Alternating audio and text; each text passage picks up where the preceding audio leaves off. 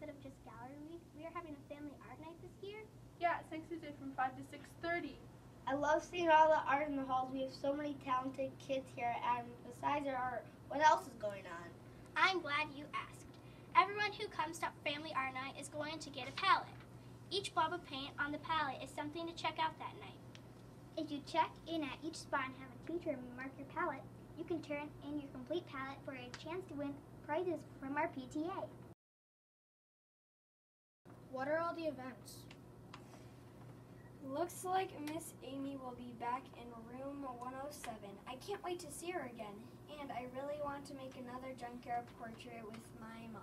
I want to make that too, but I also want to make a toolbox. Make sure to turn in your slip right away, kids, because the first 150 people will get to make a toolbox with local carpenters, carpenters from the Kids Build program. That will be in the gym.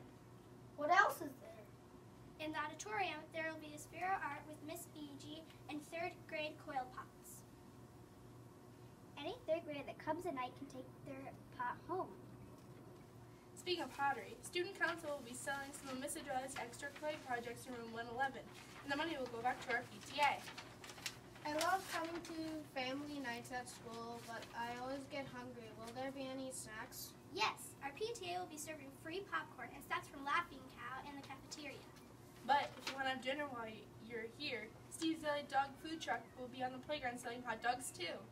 Oh, and there is one more thing. The Puzzle Club kids will be revealing the finished puzzle that they have been working on all year. Wow, it sounds like there will be lots of things to do.